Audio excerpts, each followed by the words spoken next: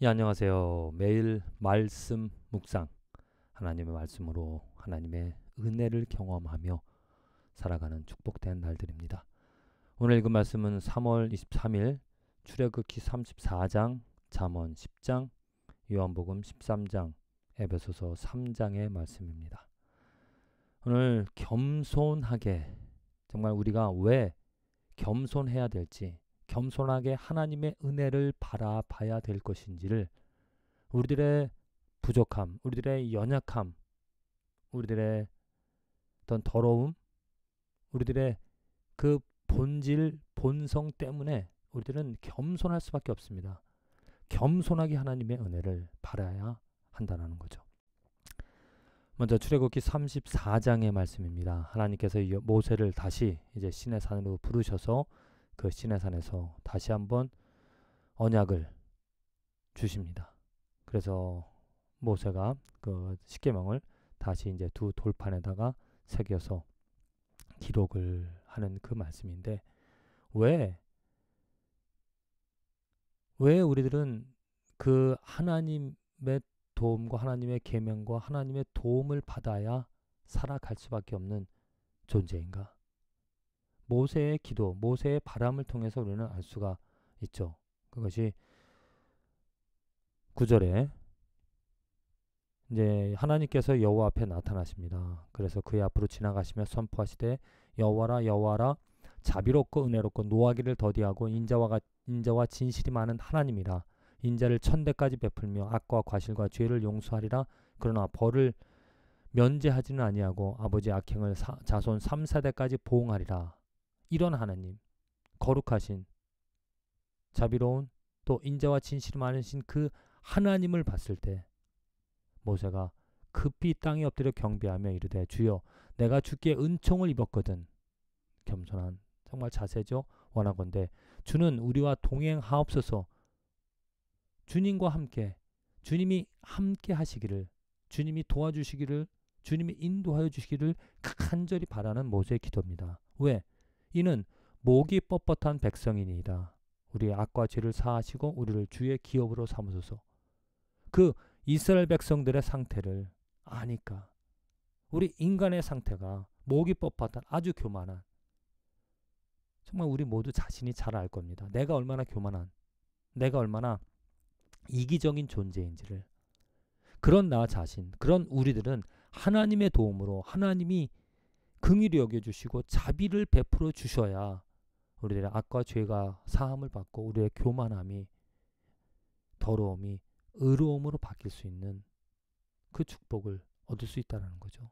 하나님의 도움이 있어야 하나님이 긍휼히 여겨 주셔야 하나님의 자비가 있어야 그 축복이 이루어 우리는 우리 삶에서 경험할 수 있게 되어진다는 겁니다.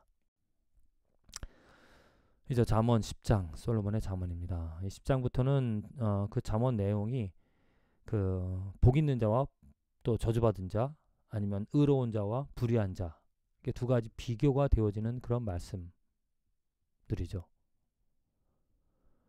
7절 의인을 기념할 때는 칭찬하고냐 악인의 이름은 썩게 되니라 마음이 지혜로운, 지, 지혜로운 자는 계명을 받고냐 입이, 입이 미련한 자는 멸망하리라 굉장히 상반된 아주 극명하게 다른 두 가지 삶의 모습을 우리는 볼 수가 있다는 겁니다.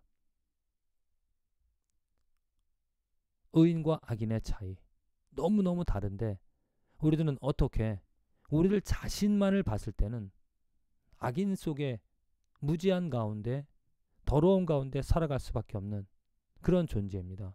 이 모든 말씀들 의인의 수고는 생명에 이르고 악인의 소득은 죄에 이르니라. 그 의인이라고 말했을 때 그 의인은 우리 자신이 아닙니다. 하나님의 의를 하나님의 은혜를 입어야 그 의인이 되어질 수 있다는 거죠. 우리들이 받을 수 있는 것은 내 힘으로 또 내 의지로 하나님 없이 살아가는 그 인생들은 다 악인. 악인에게는 두려워하는 것이 임하거니와 의인은 그 원하는 것이 이루어지느니라. 회오리 바람이 지나가면 악인은 없어져도 의인은 영원한 기초 같으니라. 여기서 의인과 악인이 분명히 분명히 나눠지는데 우리의 자신의 상태는 악인이라는 것입니다. 그래서 그 악인인 우리들이 우리의 삶을 정말 되돌아보면서 이런 안타까운 일들을 바라보면서 하나님께 주님 정말 의인이 되고 싶습니다. 의인으로 살아가고 싶습니다. 의인이 되어서 여기 나와 있는 그 놀라운 축복들을 경험하면서 그 의인으로서 살아가고 싶습니다. 이렇게 고백하는 것이 우리들의 삶의 바른 자세죠. 그게 출발점입니다. 의인의 소망은 즐거움을 이루어도 악인의 소망은 끊어지느니라. 소망이 무엇입니까? 만일 우리들이 그냥 이 세상에서 살아가면서 눈에 보여지는 내가 가질 수 있는 것들, 세상 것들의 소망을 두면 없어질 것입니다. 썩어질 것입니다. 하지만 영원히 즐거울 수 있는 예수 그리스도, 하나님이 주신 우리들에게 주신 축복, 그 예수에게 소망을 주면 정말 생수가 내 마음에 샘솟듯이 나와 항상 즐거움을, 기쁨을 준다라는 것. 진정 겸손히 이 의인이 되어질 수 있는 예수 그리스도로 말미암아 그 하나님의 의를 잊고 하나님을 경외하며 살아갈 수 있는 우리들의 삶이 되어져야 되겠죠. 여기서 요한복음 13장 예수님께서 제자들의 발을 씻겨 주시고 가론 유다가 배반할 것을 말씀해 주시고 이제 새 계명을 주시면서 내가 너희를 사랑한 것이 너희도 서로 사랑하라라는 말씀을 주십니다. 그런데 마지막 부분에서 베드로가 세 번 부인할 것을 예수님께서 말씀하시죠. 베드로가 이르되 주여 내가 지금은 어찌하여 따라갈 수 없나이까 주를 위하여 내 목숨을 버리겠나이다. 열심을 가지고 주님을 따라가겠다라고 말하지만 예수님께서 대답하시되 내가 나를 위하여 내 목숨을 버리겠느냐? 내가 진실로 진실로 내게 이르노니 닭 울기 전에 내가 세 번 나를 부인하리라. 참 베드로의 연약함을 그대로 잘 드러내는 말씀이죠. 예수님 말씀하신 것처럼 그대로 베드로는 목숨까지 바치겠다라는 그 예수 그리스도를 부인합니다.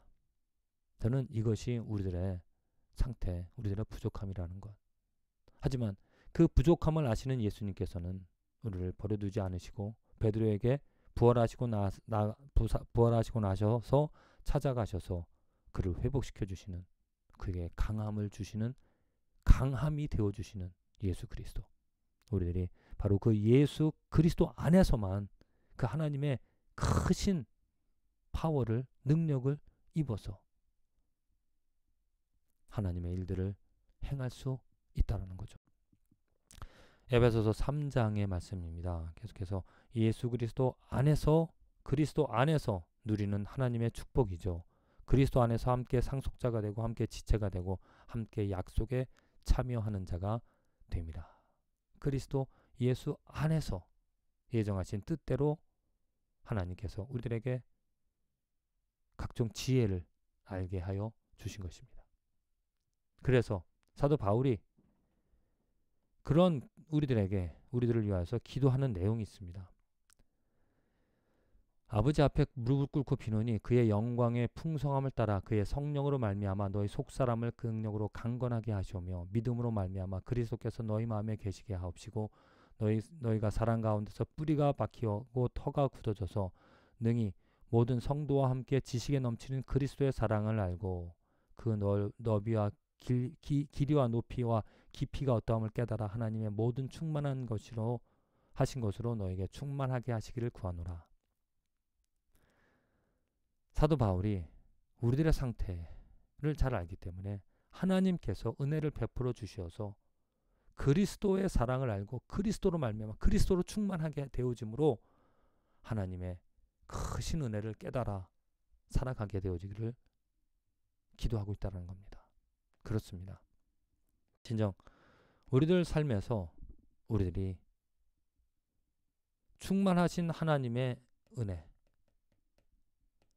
하나님의 그 충만함을 누릴 수 있는 비결은 겸손한 자, 겸손함으로 하나님의 은혜를 바라며 나를 부인하며 나의 부족함을 인정하고 나의 더러움을 벗어버리고 하나님의 의로 옷 입기를 소망하는 자, 그 이름을 부르며 하나님께 나아가는 자, 하나님을 찾는 자, 의의 굶주린 자에게 하나님께서 예수 그리스도로 말미암아 우리에게 충만한 하나님의 깊고 높고 넓으신 하나님의 사랑을 하나님이 누구인지를 알게 하여 주실 줄로 믿습니다. 부디 저와 여러분들 삶의 겸손함으로 하나님의 충만함을 입어 오늘도 기뻐하며 감사하며 하나님을 경배하며 살아갈 수 있는 축복된 인생과 날들이 되어지기를 간절히 기도드립니다.